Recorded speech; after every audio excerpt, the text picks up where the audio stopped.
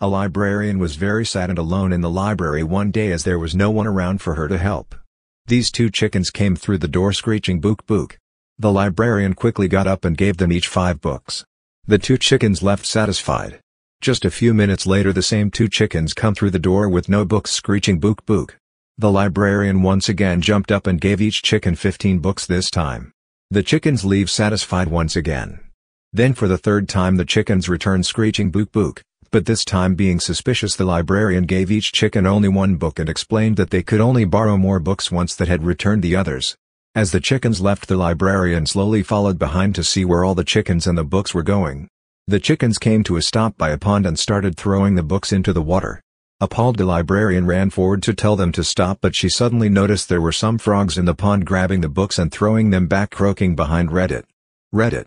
Why does a chicken coop have two doors? Because if had four doors it would be a chicken sedan. Please subscribe our channel for more video.